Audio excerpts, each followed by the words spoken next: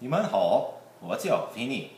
Hello, my name is Vincenzo Bianco. I'm a sophomore at South Oldham High School, and I live in Smithfield. I've been studying Mandarin for about a year, uh, but I'm here to become fluent in Mandarin so that I can one day travel to China. Uh, I'm a first degree black belt in Taekwondo. My goal is to get my world certification, or Kukiwon.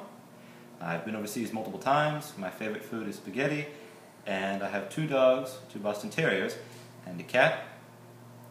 I would like to know if anyone taking this class, if your family is from China. Uh, that's all I have to say about me for right now. Until next time, 再见.